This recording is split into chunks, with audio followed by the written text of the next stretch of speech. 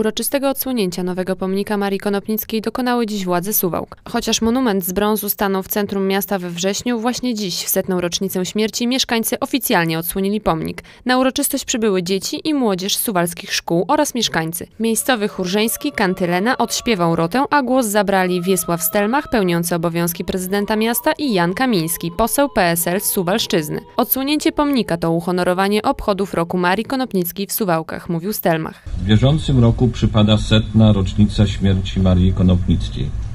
W dowód pamięci Suwalczan ten rok obchodzony jest w mieście nad Czarną Hańczą jako rok Marii Konopnickiej.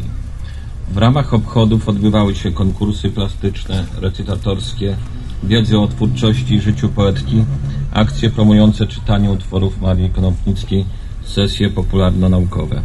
Ukoronowaniem obchodów roku Marii Konopnickiej w naszym mieście jest odsłonięcie odnowionego pomnika. Maria Konopnicka była poetką, nowelistką, krytykiem literackim, publicystką i działaczką na rzecz praw kobiet. Artystka zapisała się w historii głównie jako autorka ambitnych wierszy i innych utworów dla dzieci i młodzieży. Jan Kamiński dziękował władzom miasta, że upamiętniły poetkę. Myślę, że jesteśmy bardzo dumni, że Maria Konopnicka urodziła się właśnie u nas tutaj w Suwałkach.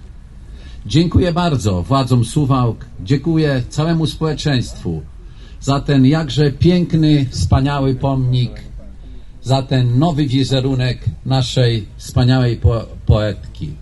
Myślę, że pamięć o niej w naszych sercach będzie trwała po wszelkie wieki. Po oficjalnych wystąpieniach Wiesław Stelmach, pełniący obowiązki prezydenta Suwałk oraz Włodzimierz Marczewski, przewodniczący Rady Miasta, z pomocą najmłodszych przecięli wstęgę na pomniku.